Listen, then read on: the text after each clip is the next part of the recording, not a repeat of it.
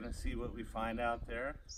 Hopefully large lobsters, large calico bass, maybe a sea bass or two, maybe some halibut. It's a beautiful day. I think we're gonna have good luck out there. Thanks, Andy. This is Isla Vista. It's always enjoyed a thriving, healthy kelp bed, even during many El Nino years. We swam about a quarter mile out, and as you can see, the giant kelp is very thick and heavy this year. We're taking a dive down, holding our breath down to 40 feet. And as you can see, the kelp is attached to a nice rock on the bottom that's got lots of ledges and flat area for the kelp to attach. Lots of critters in there, sea urchins, lobster, fish.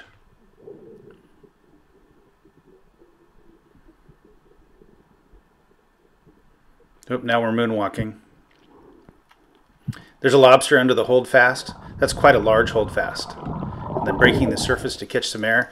And as you can see in areas that don't have hard bottom, it's empty mud for the most part.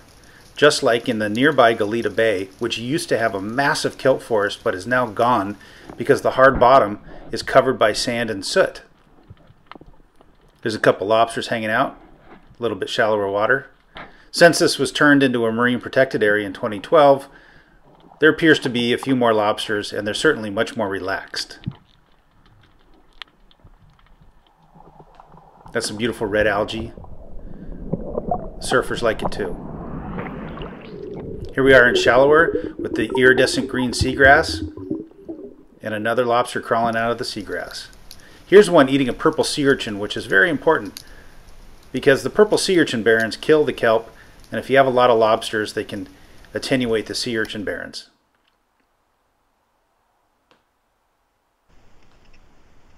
Here's two hanging out. Looks like Mama and Papa.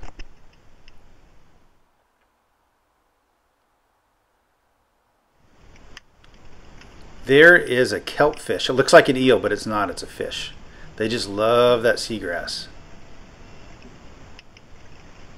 The Fish Reef Project, founded in 2012, is here to create thriving kelp forests in California and coral reefs across the world.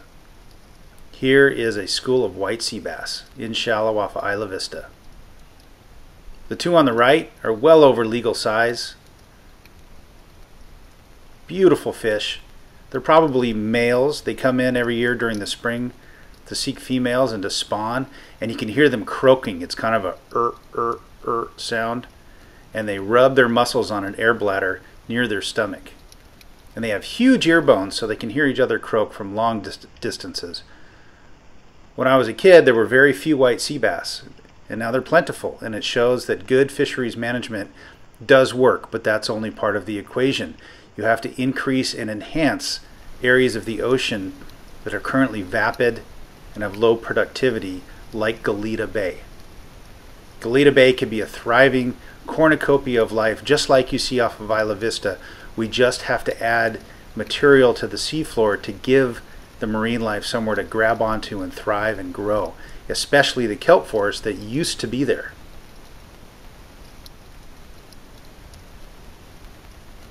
They're just such an elegant, beautiful fish. I could watch them all day long.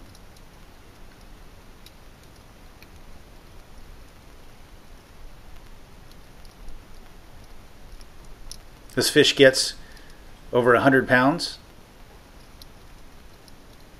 and roams all the way from, oh, about the Oregon border down to the middle of Baja, or even around past Cabo San Lucas at times.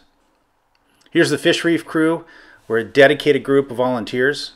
And when we make the reef off Goleta, it will look something like this. And in a couple years, you'll have a thriving kelp forest full of life once again. But we need folks to step up and donate and help the project out, and we'll get there. Thank you very much. Thank you for watching.